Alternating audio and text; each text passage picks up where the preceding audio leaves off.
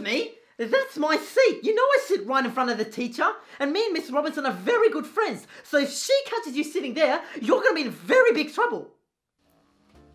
Shh! Miss Robinson is trying to teach a class here. Please show some respect and be quiet. Seriously. Sorry, miss, please continue. Excuse me, Miss Robinson, Miss Robinson. Sorry, um, I know it's the end of the lesson, but are you going to check the homework? Excuse me, sir. Yeah, just before we start the lesson, I just want to let you know that when you were away on Tuesday, Aston here was throwing paper balls and eating during class. Sir, sir, Yes, mate. the answer is 24. Wrong. Anyone else? What? What? Sir, the answer is 24. Quiet? Because there's people here that are trying to do their work. Can you stop copying me? Seriously.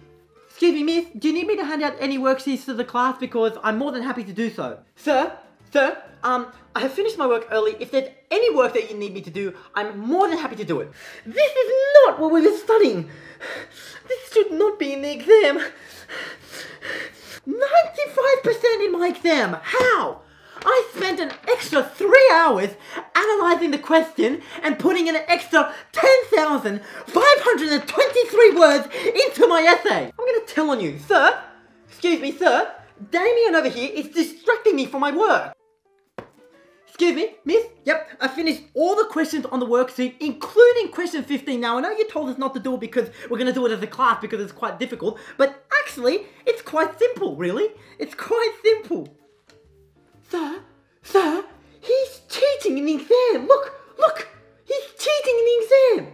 Me, miss, miss. Yep, um, sorry. I know that we were supposed to read this during class, but I have completed this book in my spare time. And to tell you the truth, this is actually a very interesting book. How did you get 90% in your exam?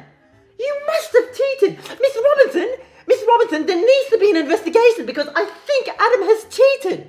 He definitely cheated in the exam. Miss Robinson, Miss Robinson, yes, I would like to read the first chapter, please. Miss, Miss, actually, no, that is wrong because it has been proven that in quantum physics, that method is completely incorrect. So, Miss, what are you doing on the school holidays? Because there's a book fair in town and I was wondering maybe we should go together. Maybe we can find some books for next semester. Good morning, Mr. Robinson. So, how was your weekend? Oh, that sounds lovely. That sounds lovely. I should let you know that I was actually doing extracurricular work this weekend. Oh, I know the answer. I know the answer. Sir, sir, sir, sir. Pick me. Sir, can you see me? Can you see me? Sir, over here. I know the answer. I know the answer. I know... Why would... He doesn't know the answer. Seriously. No, get your own pen. Seriously.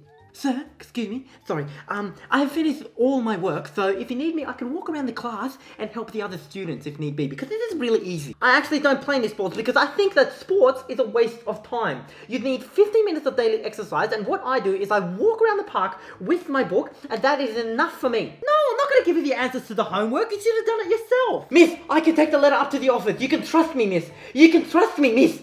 Miss, you can trust me. James, James, I can get you in serious trouble because me and Mr. Robinson are actually really good friends, okay? I can get you expelled from this school. Good morning, sir. Jesus Christ.